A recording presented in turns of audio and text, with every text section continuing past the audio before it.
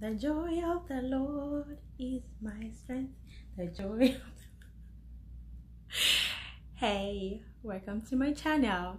If you want to know more about God's love for you and you need an affirmation of that, well, this is the right place for you. So keep on watching.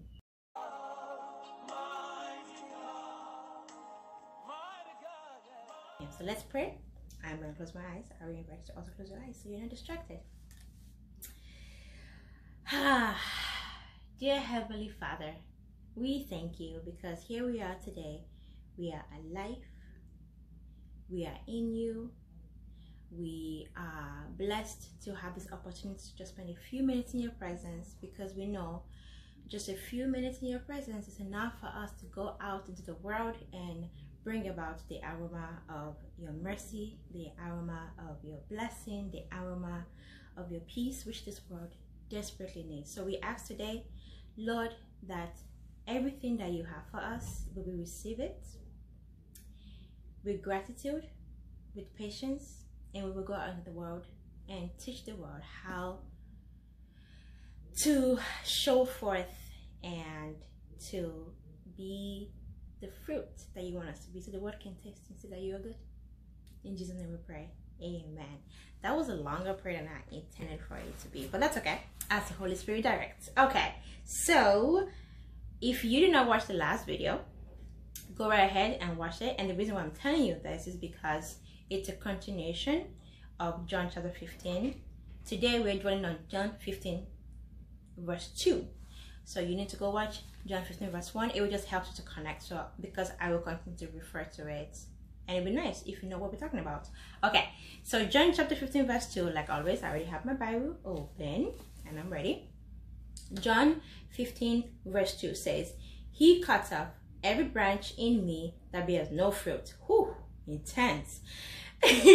While every branch that does bear fruit, he prunes so that it will be even more fruitful. Homework.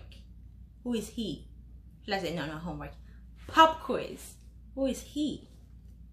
He cuts off every branch in me. Who is me? Who is he? You got it. You were listening last week. He is God the Father. Me is Jesus Christ, one talking here. All right, so I read that first part again and we'll talk about it. It's very important that we dwell on this and it's very important that we have peace as we listen to this part. So I'm going to read just the first part again. He cuts off every branch in me that bears no fruit. Wait, I'm a branch. Does that mean he's going to cut me off? No. When God says he's going to cut off every branch that does not bear fruit, is not saying, and I some of you might be thinking is losing your salvation. No. Now listen carefully.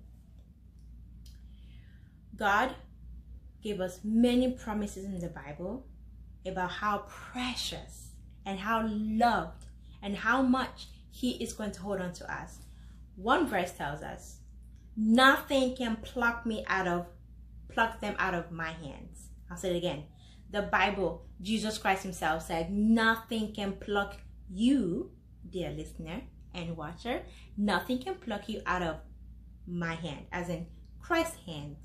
And that one says, when a righteous man falls, even the seventh time the Lord will raise him up. Okay? Listen for another one. Nothing can separate you from the love of Christ. Nothing. So take a deep breath and know this nothing will separate you from the love of Christ. He's not talking about your salvation being lost. So just clear your mind on that. Okay? All right. So, what does he mean when he said, He cuts off every branch in me that bears no fruit? Good question. To be able to answer that, we're actually going to finish the rest of it while every branch that does bear fruit, he prunes so that it will be even more fruitful. So remember last week we said we are branches. I mean, I didn't say it. You didn't say it. The Bible said it. Clearly said in verse 1, you are the branches. Okay, so that's me. That's me and you. We're the branches, right? And he said, every branch that bears fruit, he prunes so that he will bear even more fruit. Now, when you think of the word bear, what do you think? Are you thinking giving birth? Or are you thinking of carry? Because what he's talking about here is carry, right? If I see an apple tree, I don't say, oh, look at those apple branches. And yet, it's the branches that's carrying the fruit, right? So, here is God the Father the gardener, working on the vine, which is Jesus Christ. And there we are, the branches bearing, not giving birth. No, no, no. Not producing. No, no, no. But carrying, right? Like a branch. The fruit is hanging from the branch. That's us. Right? When we bear the fruit, it delights the mind of Christ. It delights the mind of God. Right?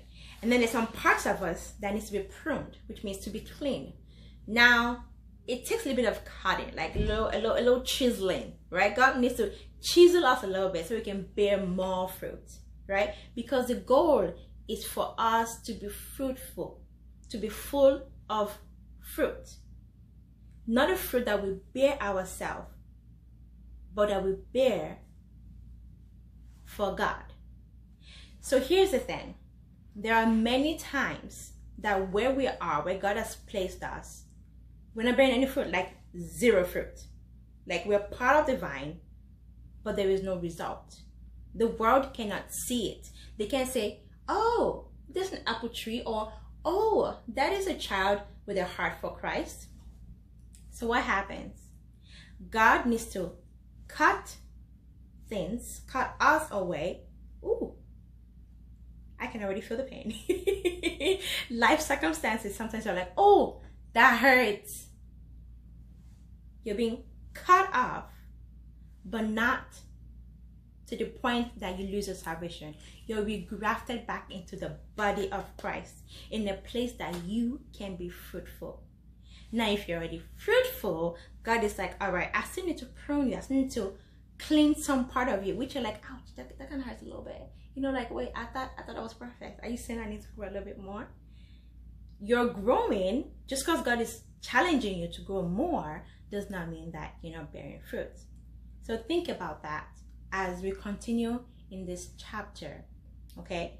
God loves you and god has chosen you to be grafted into him you're part of him now and you're a branch and from you is hanging out fruit, God's fruit, not your effort fruit. It's God that's hanging, that's shown in your life. But you have a role to play. You're a branch and you have a role to play. Okay? So, the duty of a branch is not to actually produce the fruit, it is to carry and display the fruit. That's what we do. We display God.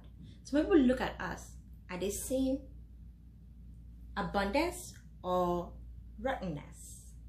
Okay, so we have a role to play.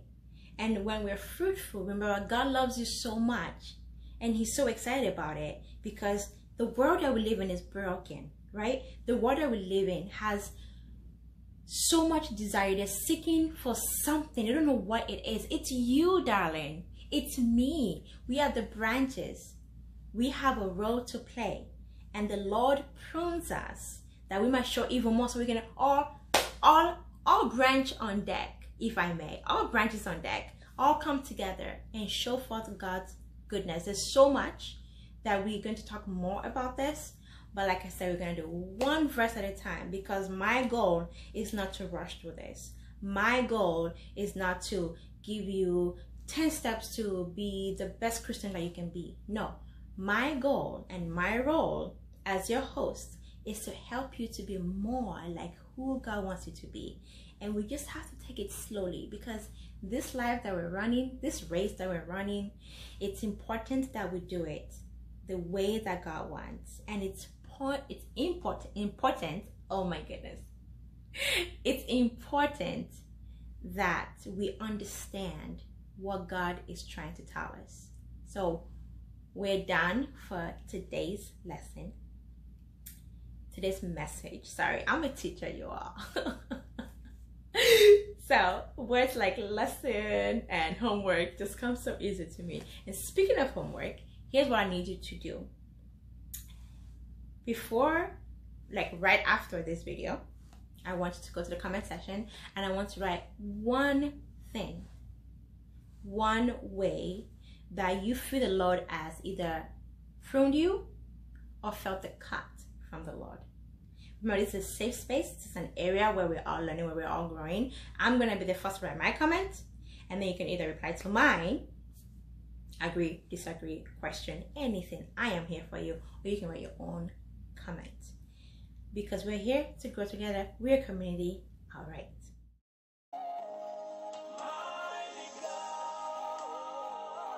I hope you enjoyed this message. If so, don't forget to subscribe, like, comment, and I'll see you back next Friday. Next Thursday. Sorry. Love you. Bye.